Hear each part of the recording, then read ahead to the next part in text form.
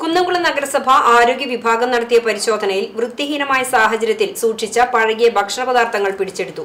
കാണിപ്പയൂരിലെ അധോലോകം ഹോട്ടലിൽ നിന്നാണ് chicken beef കറികൾ കപ്പ വേവിച്ചത് ഉൾപ്പെടെയുള്ള പഴകിയ ഭക്ഷണ പദാർത്ഥങ്ങൾ പിടിച്ചെടുത്തത്.